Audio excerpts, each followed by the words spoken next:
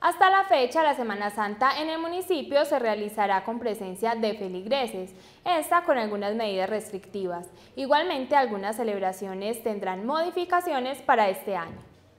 Por ejemplo, la procesión con el Via Crucis por las calles del municipio no se realizará este año, será al interior de la catedral igual que el año anterior. Tendríamos que decir que las celebraciones se van a llevar a cabo, pues hasta ahora no hemos tenido otra información Sencillamente respetando las medidas de bioseguridad, tratando de que haya un aforo, el aforo permitido, que se conserven las debidas distancias, el uso del tapabocas y eh, la prohibición que se tiene precisamente son las procesiones, evitando cualquier tipo de, de aglomeración.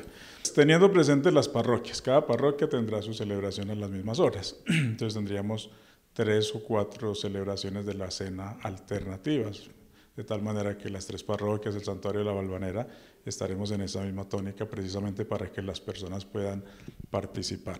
Y las celebraciones común y corriente, es decir, el jueves santo en la mañana tendremos la misa por los enfermos y en la tarde pues la misa de la Cena del Señor, que siempre lo que propone la liturgia es que la Eucaristía de la Cena del Señor se celebre tipo 3, 4 de la tarde. Además, las diferentes celebraciones serán transmitidas por el canal Sonsón TV, la emisora Capiro Estéreo y las diferentes redes sociales de la Catedral de Sonsón. La idea es organizar los pasos dentro del templo, como que inviten también a la reflexión, porque el lugar es espacioso, y como tratar de celebrar la Semana Santa en un ritmo diferente, así como el año pasado nos tocó también adecuarnos a otro ritmo, pero tratando de volver a la normalidad poco a poco, siempre y cuando pues, las disposiciones del gobierno también nos lo permitan, porque estamos sujetos a, lo que están diciendo también hechos. Yo creo que Sonson ha sido muy juicioso, este año nos ha servido mucho de pedagogía, sobre todo.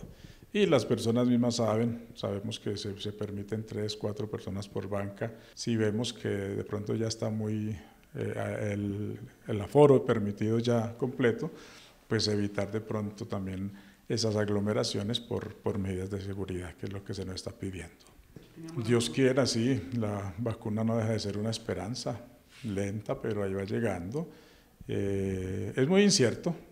Eh, la idea es que algún día se pueda volver a retomar toda esta tradición que se tiene, de lo, por el momento seguir viviendo la fe como se nos ha venido proponiendo, con muchas convicciones y sobre todo caminando pues con esa esperanza cierta de que las cosas lleguen a mejorar. Las celebraciones serán a la hora que tradicionalmente se han realizado en el templo de la catedral y a través de los medios de comunicación.